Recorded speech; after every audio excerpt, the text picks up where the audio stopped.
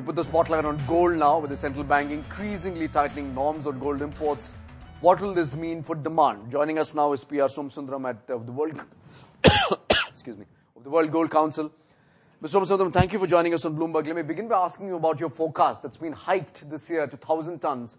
Although we've seen last quarter demand itself being relatively strong, do you anticipate further consumption, surge in consumption during the festive season? Well, um, uh, the last uh, estimate we had given was nine, uh, 865 to 965.